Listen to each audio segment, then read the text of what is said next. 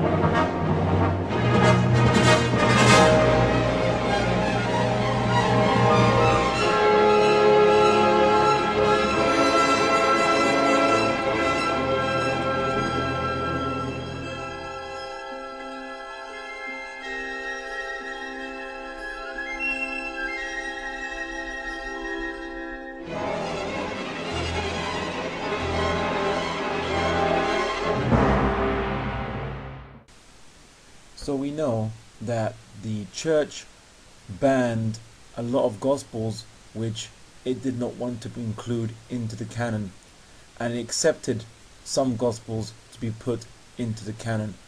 But what we want to find out is why were these other gospels rejected? Let's see what some Christians And every one of them say. are either written in the second century or up until the fifth century. They are all much too late. They would not be supported by the canonical uh, c- the canon.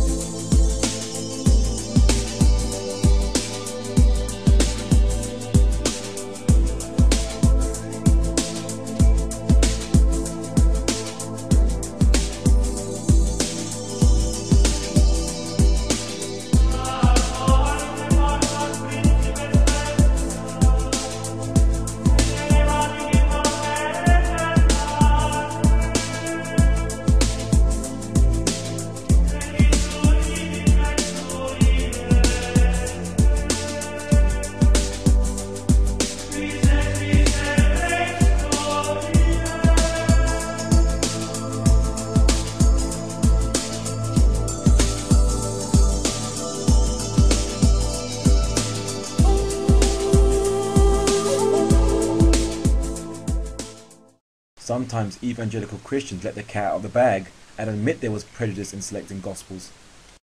We don't burn our manuscripts. We don't have to destroy them.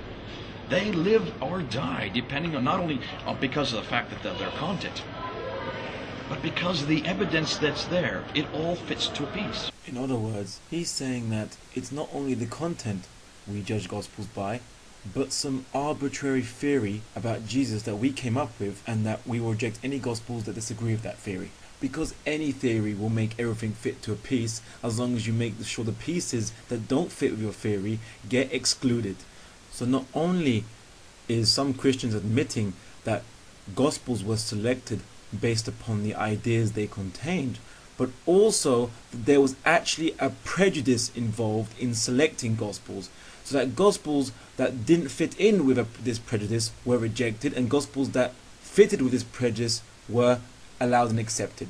And this is proof that the gospel, meaning the teachings of Jesus, has been corrupted by human minds who've imposed their own theories upon Jesus and they never even met him.